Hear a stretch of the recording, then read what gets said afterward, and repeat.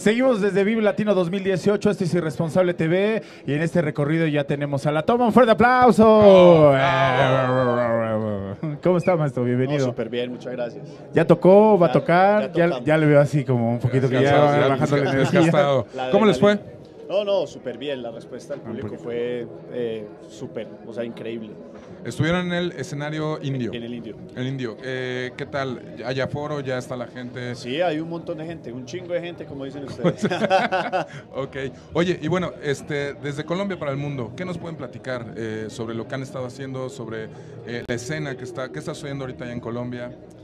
Bueno, eh, en Colombia estamos, eh, digamos que no al nivel de México respecto al rock, pero eh, hay un movimiento interesante que, que está surgiendo ahora. Pues ya vemos que igual en los 90 pasó algo, en los 80 pasó algo, las generaciones se van cambiando y bueno, ahí vamos.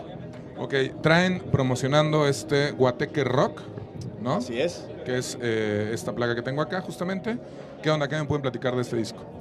Bueno, este es un compilado, ¿cierto? Son tres eh, álbumes que tenemos nosotros. Ahí está el compilatorio que creemos que es la música que a- acá va a gustar, ¿cierto? Que les va a gustar a, a los mexicanos. Y bueno, de todo un poco. O sea, eh, la banda es una banda de rock, pero nosotros funcionamos, fusionamos el rock con, con- con los ritmos latinoamericanos. Entonces vamos a encontrar ahí bolero, cumbia, reggae, Un poquito de esta música eh, muy de las raíces, que a lo mejor tal vez no nos tocó tanto a nosotros, pero sí a nuestros padres, a nuestros abuelos, y que pues la traemos en el chip, aunque no queramos, Bueno, ¿no? yo diría, yo diría, y, sobre todo aquí en México, el movimiento de la cumbia es grandísimo, Ajá. ¿cierto? Yo diría que la cumbia es, es algo con el que nace el latino, el Claro. arena, ¿cierto? Entonces, pues, es imposible salirse de eso. Ya ves, pues, en el camión acá, vas y, y hay alguien escuchando cumbia todo el tiempo. Y bueno, más, y- de lo, que- más de lo que uno quisiera. Más. y el rock siempre ha sido para nosotros pues nuestro amor platónico, también lo que queremos ser, Claro. pero no nos podemos despegar de esa esencia. claro, claro.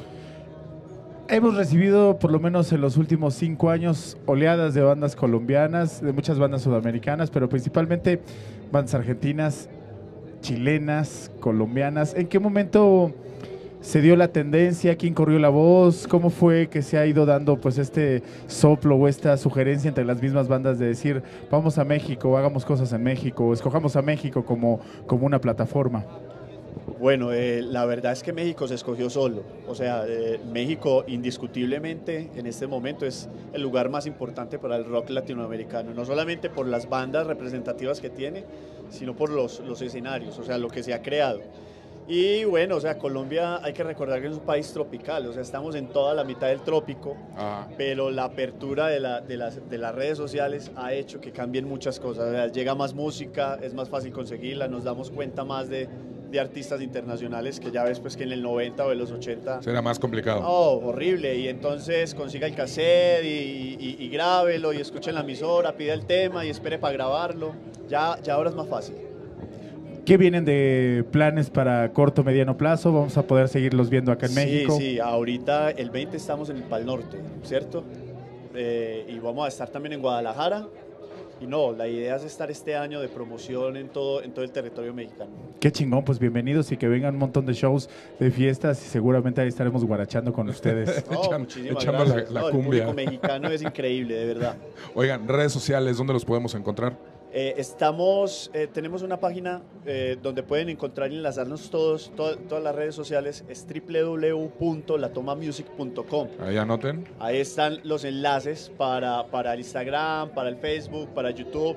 Y si no, de todas maneras, Facebook, Instagram, YouTube, eh, latomamusic.com. Perfecto. Pues muchas felicidades y muchas A gracias. ustedes, a Mucho ustedes éxito para La No, Toma. Muchas gracias. Muchachos, nosotros estamos desde Vive Latino 2018. Sigan nuestra cobertura que estamos haciendo especialmente para ustedes, con mucho cariño y con mucho corazón, desde el Foro Sol de la Ciudad de México. Desde el Centro de Operaciones de El Centro de Operaciones. TV. Regresamos. Ahorita venimos.